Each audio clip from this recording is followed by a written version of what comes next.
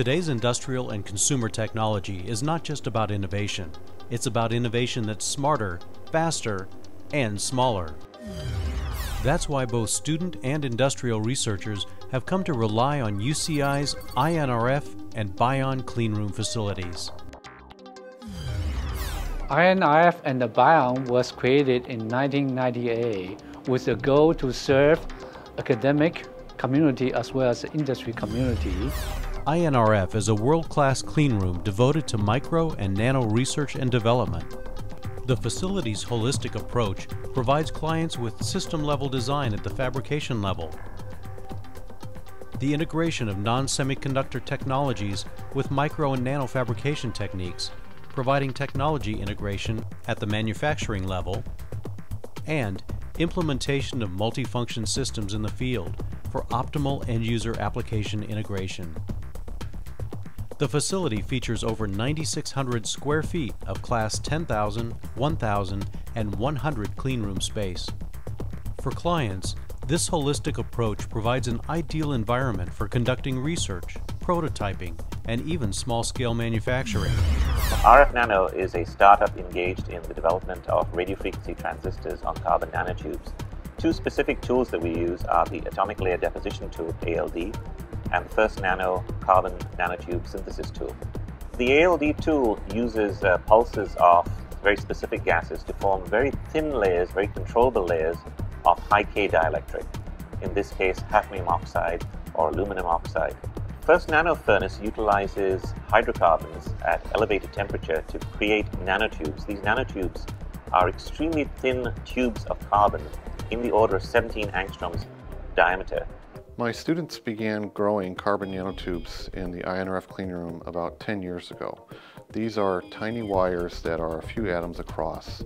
Using the tools in the INRF with the staff assistance, they were able to develop the ideas from essentially a prototype to a commercialization viable technology, which has since matured. We have a project now based on this work where we're looking at the ability of these tiny wires and other classes of wires made of aluminum or silicon or all kinds of metals and semiconductors and we're looking at their ability to carry light down them and to propagate electric signals. We're also looking at their ability to focus these signals onto single molecules for chemical and biological sensing applications. This is a MURI project that involves about 10 different universities and the students in my group are working heavily in the INRF to carry out the portion of our work looking at the signal propagation in carbon nanotubes and also new kinds of materials such as graphene and other new materials that we'll be discovering in the next five years. UCI's BION is a 4,000 square foot cleanroom facility dedicated to research and development of micro-nano devices using biological and organic materials. The facility contains tools that are capable of performing micro and nano fabrication on materials such as polymers, hydrogels, collagens, proteins, and even living tissue. This unique facility enables researchers to develop new technologies and products for environmental, life science, and medical applications, including biomedical devices and biotechnology. Both INRF and BION cleanrooms use engineering safety controls on equipment and utilities. Equipment is monitored regularly, and the facilities conform to all California regulations for safety and environmental health in a research environment. All staff and users take safety training and pass certification before using equipment to ensure the safest environment possible for all facilities users. INRF staff and faculty have unique experience in developing advanced processes and technologies for materials, microdevices, sensors, and microsystems for the biomedical, industrial, defense, and telecom sectors. This wide-ranging, comprehensive knowledge and experience base is what sets UCI's INRF and BION apart. At MF3, uh, we're working on a lot of micro nanofluid technologies and we're making a lot of things in the BION and the INRF. Uh, we've been stressing a lot of manufacturable processes these days and one of the things that we're really focusing on is hot embossing. In the BION and the INRF Center, we have access to, uh, to tools that allow us to develop these uh, advanced microchips that will allow us to use one drop of blood to carry out applications such as early detection of cancer. The access to the BION and the INRF is integral to the development of these chips and we have um, a large number of students from the MF3 Center utilizing this capability. This allows these students to be able to take what they learned in the classroom, in the textbooks, uh, and apply them to, towards real-world applications and motivates them to change the world through microfluidics. LifeChips is a program at UC Irvine that tries to uh, promote research at the interface between engineering and life science. And in particular, we're really exploring the interface at the micro and nano scale. So we'd like to bring in semiconductor technologies, uh, nanotechnologies that are developed in engineering, and combine forces with our colleagues in life science who are doing molecular biology, cell biology, and see if we can do something really interesting where those two uh, fields overlap. One of the great things about life science is that uh, biological systems actually have perfected nanotechnology. Biological systems do nanotechnology every single day, and we can learn a lot by talking with uh, life scientists and biologists about how life systems work and how nanotechnology works. On the other hand, a lot of the devices we build, we can uh, help life science and we can help biology by developing new technologies for them, microfluidics, lab on a chip, uh, nano systems, nano uh, devices that can help uh, biological research uh, perform better and more efficiently. And even develop devices intended for medical applications. By miniaturizing systems, we can get diagnostics faster and in smaller uh, form factors, and we can develop tools for studying cancer that, that don't exist today. So uh, there's a lot of great potential by bringing these two uh, sectors of campus together.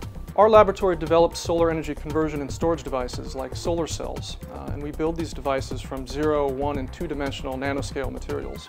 We try to integrate in my group uh, nanoscale material synthesis as well as device fabrication, uh, characterization, modeling, and optimization.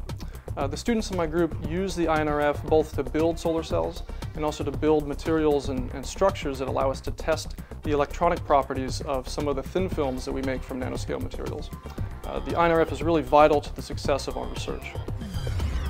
INRF and BION enables clients to deploy affordable, portable, and disposable micro and nanoscale systems through collaboration and partnerships with UCI's Physical Sciences, College of Medicine, Biological Sciences, and the Beckman Laser Institute, as well as partnerships with UCSD.